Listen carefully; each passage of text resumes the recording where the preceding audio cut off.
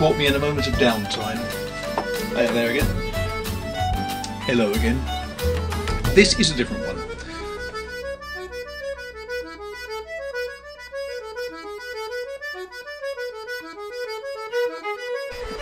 And welcome to Dartmoor.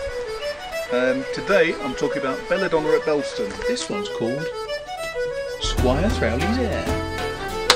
I thought today I'd use a little bit of spare time to talk about discipline.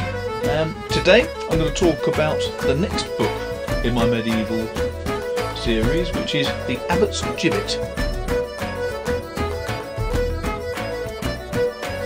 So, I have constructed this wonderful standing desk. As you can see, it works very well for me, it's just the right height. I thought this time I would like to answer some questions from other people. I thought it might be useful to give a few top tips when you're actually involved in writing.